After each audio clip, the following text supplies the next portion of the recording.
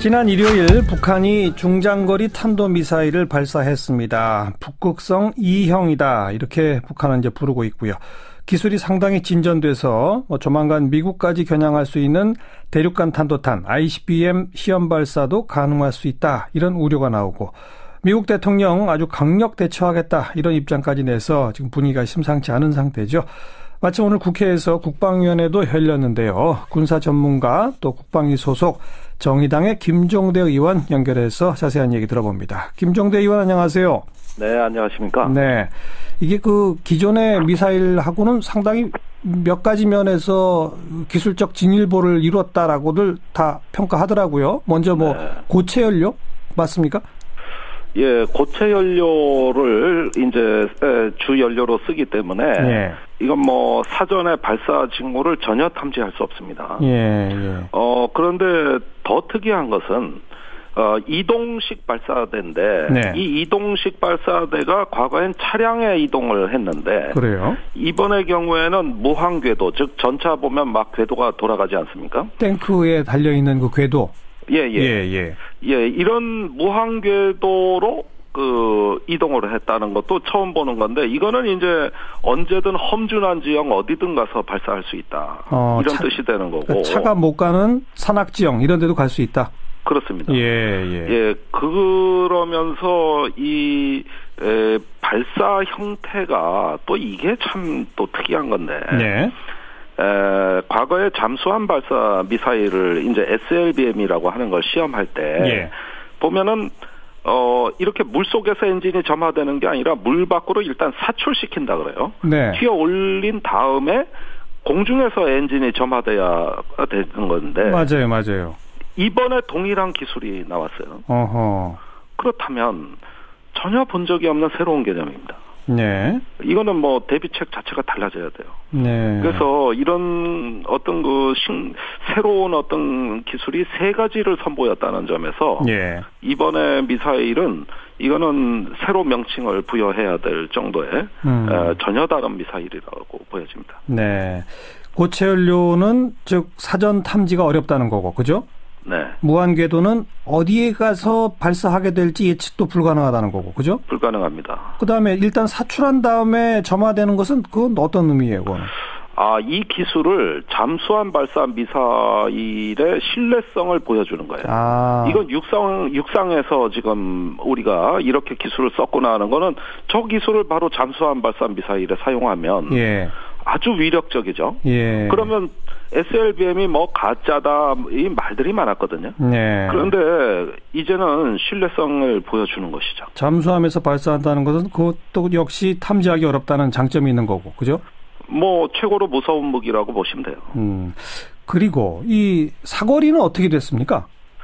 사거리도 또 흥미로운 것이 네. 이번에 어 89도 거의 직각으로 발사를 해가지고 예. 어, 날아간 거리가 550km입니다. 예. 그렇다면은 정상 발사를 했다. 약 한 뭐 40도 각도로. 예. 그렇게 되면은 2,500여 킬로를 날아가는 것으로 보여집니다. 예. 그러면은 왜 이렇게 이상한 실험을 했느냐? 그것은 동해상으로 쏴야 되는데 예. 동해로 계속 날아가게 되면 일본의 방공 식별 구역을 침범해 버립니다. 그렇게 되죠.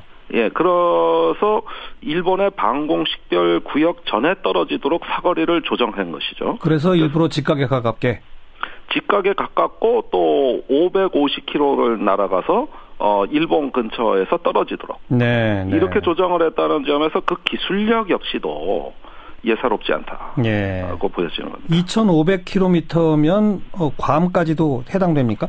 괌까지는 모자라고 아하. 일본의 전역을 타격할 수 있습니다. 네, 네.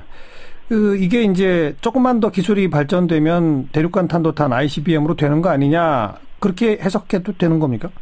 예, 이 기술을 앞으로 신형 대륙간 탄도탄 미사일에 적용할 거라고 보는 것이죠. 네. 예, 그렇게 되면은 어 이 미사일 시험을 이제 공개함으로써 어, 미국에 일정한 메시지를 주고 있습니다. 예. 이제 곧 대륙간 탄도 미사일을 우리가 임의의 시각에 발사할 수도 있다. 예. 이거를 미국에 보여주는 것이죠. 예, 예. 북한이 그래도 한동안은 이 핵실험 미사일 발사 이런 걸 안 하고 미국의 정권 교체 과정을 지켜보고 이 새 정부와 뭔가 좀 대화의 물꼬를 터볼 수도 있다라는 식의 기대를 보여왔었는데 트럼프 정부 출범하고 미국과 일본이 첫 정상회담을 하는 바로 그때를 맞춰서 이 미사일을 발사했다. 그 의미는 뭐라고 해석해야 될까요? 자, 그 ICBM은 아닙니다. 예, 예. 그러나 ICBM의 발사 가능성을 미리 시연함으로써 예. 트럼프 정부의 임의의 시각에 ICBM을 발사할 수 있다는 게 헌이 아니고 예.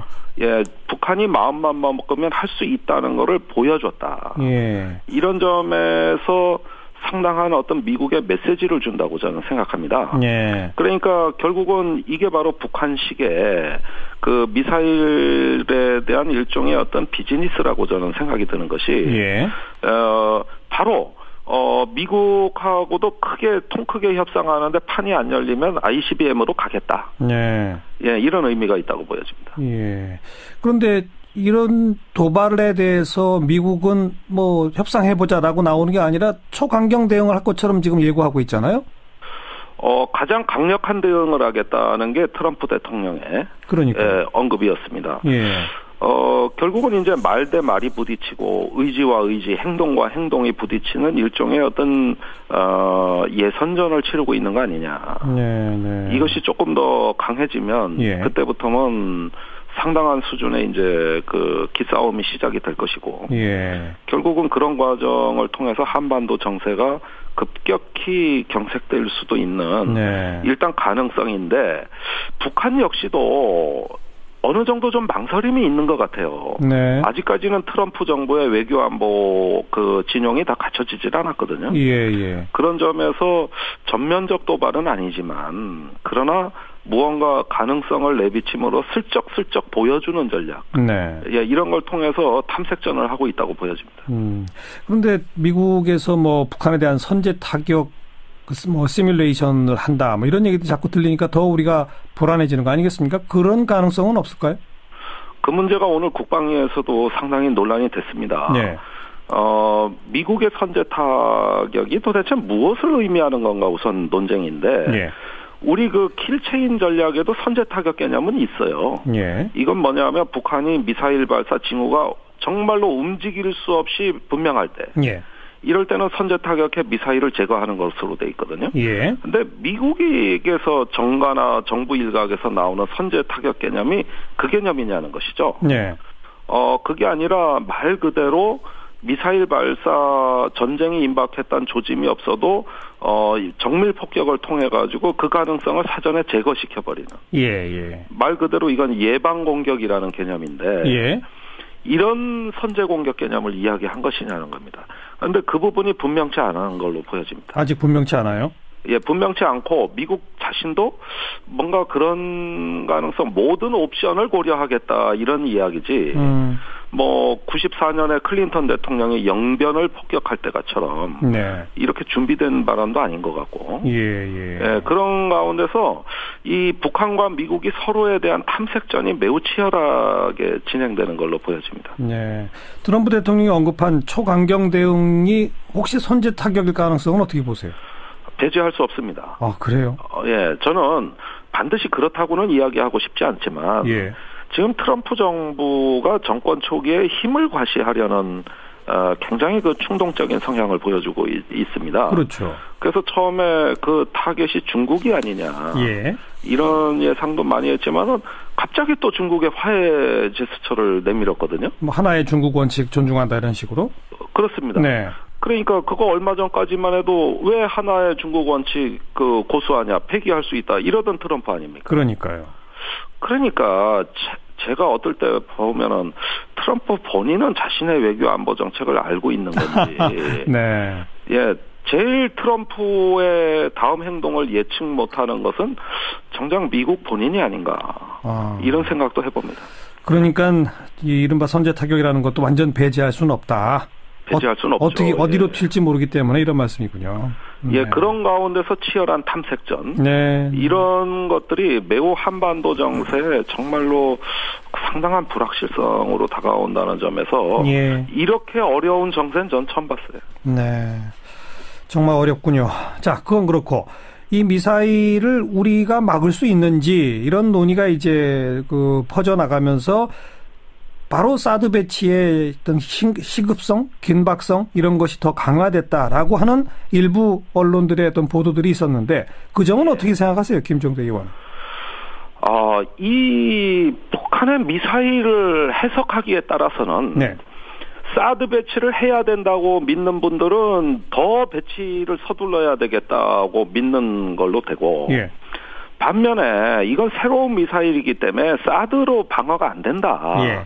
이렇게 믿는 사람한테는 사드 반대를 더 확신하는. 예. 예. 믿는 사람은 더 믿게 만들고 의심하는 사람은 더 의심하게 만드는 예. 미사일이라는 생각이 들어요. 예. 그만큼 북한이 이번에 어, 뿌려댄 메시지가 복합적입니다. 네. 어, 그런데 저는 개인적으로 예. 이 에, 이 미사일은 사드와는 관련이 없다고 생각이 됩니다. 왜냐? 단도직입적으로 사드로 이건 막을 수 있어요? 못 막아요? 없다고 봐요. 왜 없다고 보느냐? 어허. 이건 잠수함 발사 미사일을 모태로 해서 된 거기 때문에 예, 예. 여차하면 수중에 배치할 수가 있거든요. 그렇죠. 그런데 수중에 배치되는 건 사드로 못 막아요. 사드는 전방을 보는 거지 잠수함 같이 측방이나 후방에 와서 쏘는 미사일을 막을 수 있는 무기가 아닙니다. 레이더 자체가 전방만 탐지한다. 전방만 탐지. 예, 예. 예, 그런 점에서 어 이것은 사드에 대한 도전장이라고 전 봅니다. 네, 네. 그, 그 잠수함에서 발사하지 않는다면은 사드로 막을 수 있어요? 어, 다른 미사일처럼 예. 어, 우리가 요격 가능한 범위에서 똑같이 발사를 해 준다면 그렇다면 사드의 효용성은 계속 주장할 수 있겠죠. 예. 그러나 예. 어그 것은 제가 보기에는 순진한 기대가 될 수 있어요. 네, 무슨 그 무슨 뜻입니까? 그러니까 그 통상적인 범위가 아닌 고각 발사 같은 걸 하게 되면 못 막아요?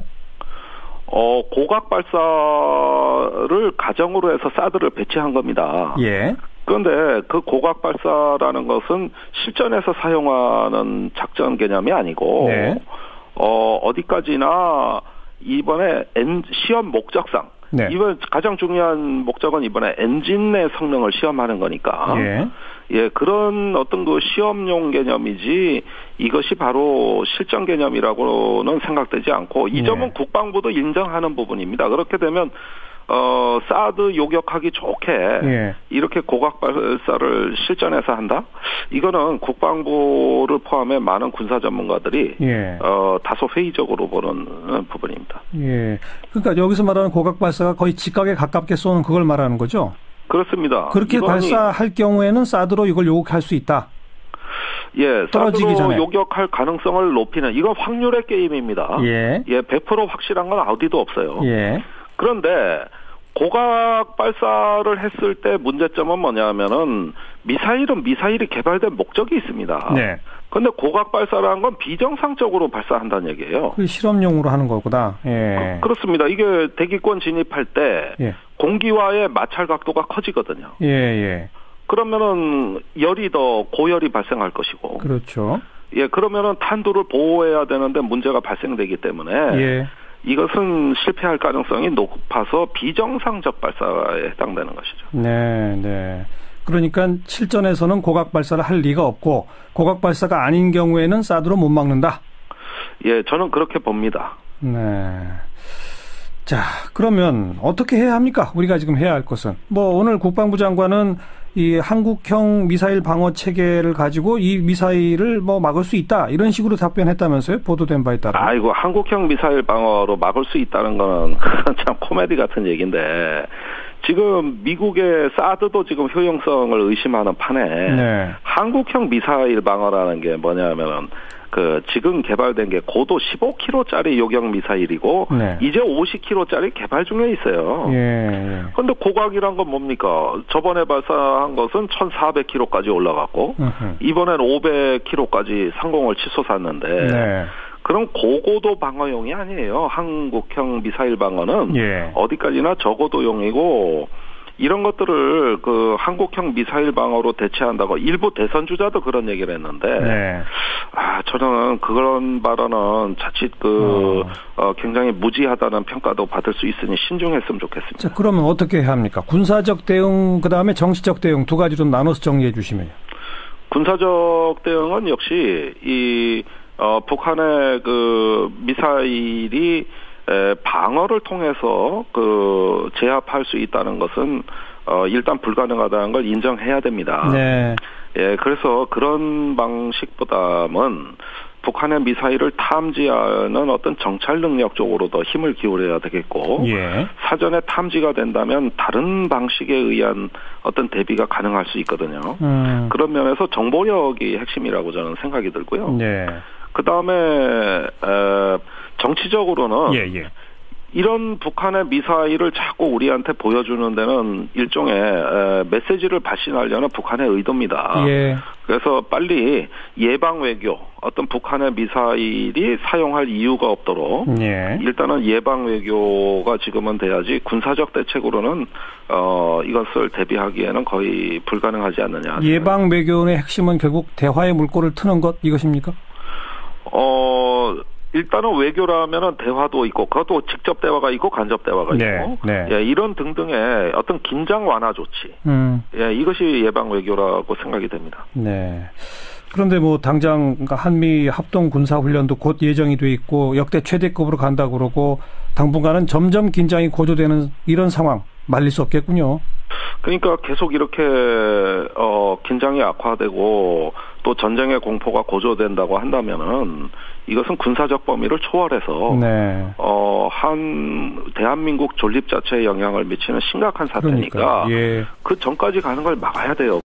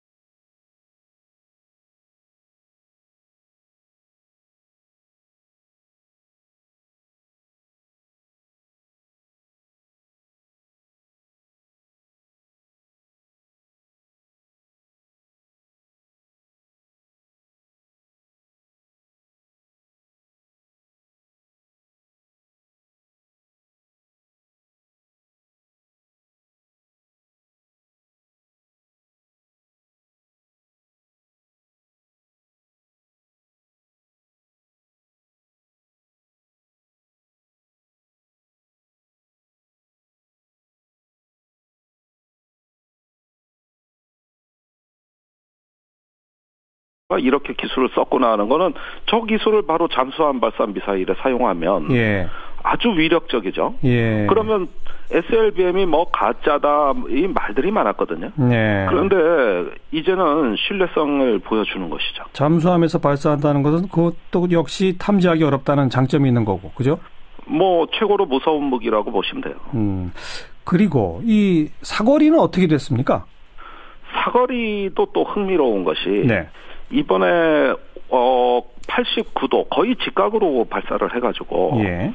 어, 날아간 거리가 550km입니다. 예. 그렇다면은 정상 발사를 했다. 약 한 뭐 40도 각도로. 예. 그렇게 되면은 2,500여 킬로를 날아가는 것으로 보여집니다. 예. 그러면은 왜 이렇게 이상한 실험을 했느냐? 그것은 동해상으로 쏴야 되는데 예. 동해로 계속 날아가게 되면 일본의 방공 식별 구역을 침범해 버립니다. 그렇게 되죠. 예, 그래서 일본의 방공 식별 구역 전에 떨어지도록 사거리를 조정한 것이죠. 그래서 일부러 직각에 가깝게 직각에 가깝고 또 550km를 날아가서 어 일본 근처에서 떨어지도록 네, 네. 이렇게 조정을 했다는 점에서 그 기술력 역시도 예사롭지 않다고 예. 보여지는 겁니다. 2,500km면 어, 괌까지도 해당됩니까?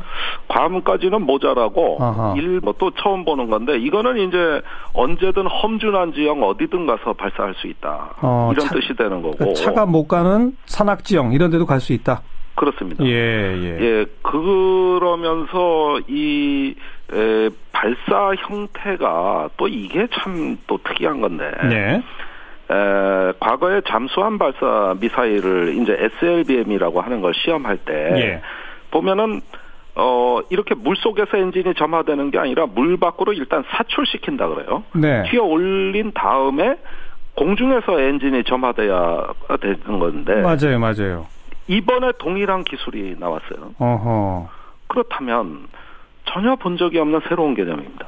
네. 이거는 뭐 대비책 자체가 달라져야 돼요. 네. 그래서 이런 어떤 그 신, 새로운 어떤 기술이 세 가지를 선보였다는 점에서 네. 이번에 미사일은 이거는 새로 명칭을 부여해야 될 정도의 음. 에, 전혀 다른 미사일이라고 보여집니다. 네. 고체 연료는 즉 사전 탐지가 어렵다는 거고, 그죠?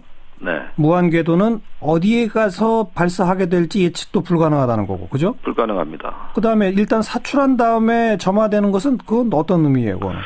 아, 이 기술을 잠수함 발사 미사일의 신뢰성을 보여주는 거예요. 아. 이건 육상, 육상에서 지금 우리가 일본의 전역을 타격할 수 있습니다. 네, 네.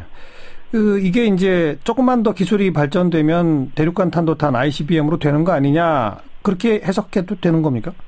예, 이 기술을 앞으로 신형 대륙간 탄도탄 미사일에 적용할 거라고 보는 것이죠. 네. 예, 그렇게 되면은 어 이 미사일 시험을 이제 공개함으로써 어, 미국에 일정한 메시지를 주고 있습니다. 예. 이제 곧 대륙간 탄도 미사일을 우리가 임의의 시각에 발사할 수도 있다. 예. 이거를 미국에 보여주는 것이죠. 예, 예.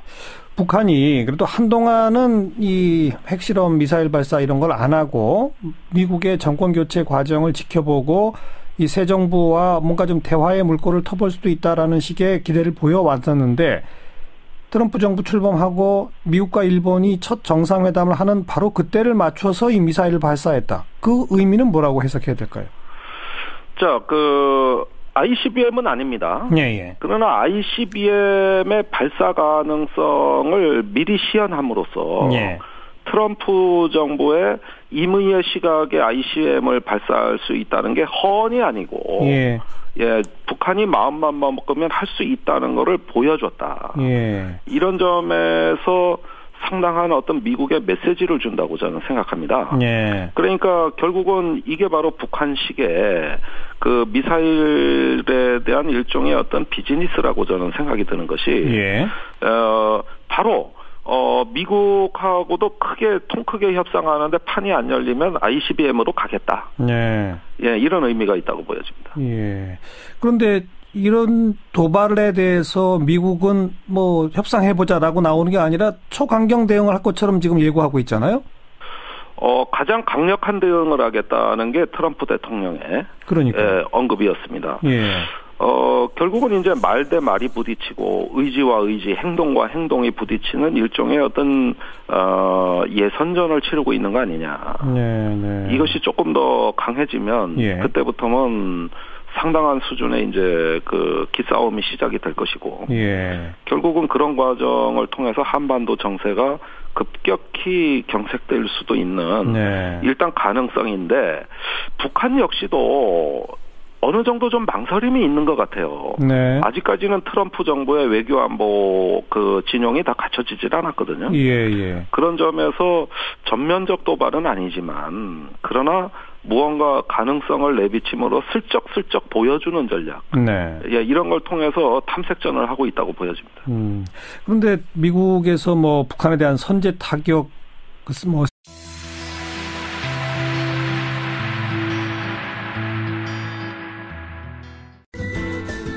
지난 일요일 북한이 중장거리 탄도미사일을 발사했습니다. 북극성 2형이다. 이렇게 북한은 이제 부르고 있고요. 기술이 상당히 진전돼서 뭐 조만간 미국까지 겨냥할 수 있는 대륙간 탄도탄 ICBM 시험 발사도 가능할 수 있다. 이런 우려가 나오고 미국 대통령 아주 강력 대처하겠다. 이런 입장까지 내서 지금 분위기가 심상치 않은 상태죠. 마침 오늘 국회에서 국방위원회도 열렸는데요. 군사 전문가 또 국방위 소속 정의당의 김종대 의원 연결해서 자세한 얘기 들어봅니다. 김종대 의원 안녕하세요. 네, 안녕하십니까? 네. 이게 그 기존의 미사일하고는 상당히 몇 가지 면에서 기술적 진일보를 이뤘다라고들 다 평가하더라고요. 먼저 뭐 네. 고체 연료 맞습니까? 예, 고체 연료를 이제 주 연료로 쓰기 때문에 예. 이건 뭐 사전에 발사 징후를 전혀 탐지할 수 없습니다. 예, 예. 어 그런데 더 특이한 것은 어, 이동식 발사대인데 네. 이 이동식 발사대가 과거엔 차량에 이동을 했는데 그래요? 이번의 경우에는 무한 궤도 즉 전차 보면 막 궤도가 돌아가지 않습니까? 탱크에 달려 있는 그 궤도 예, 예. 예, 예. 예, 이런 무한궤도로 그 이동을 했다는